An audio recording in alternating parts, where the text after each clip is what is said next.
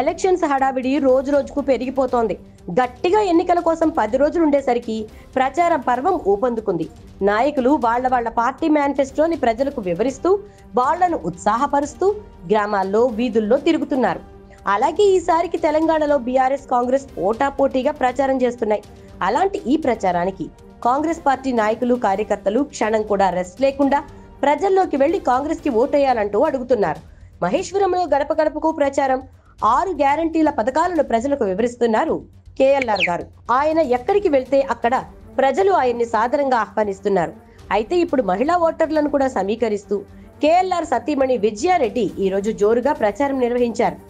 గ్రామాల్లోని మహిళలతో సరదాగా జానపద పాటలకు ఆడి పాడారు. మహిళలు కూడా విజయారెడ్డిని ఆహ్వానించి హారతిచ్చి వాళ్ళ కష్టసుఖాలు చెప్పుకున్నారు.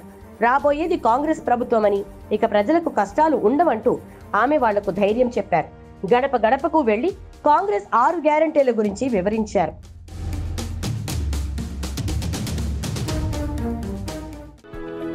For more interesting updates, do like, share, and subscribe to Volga News.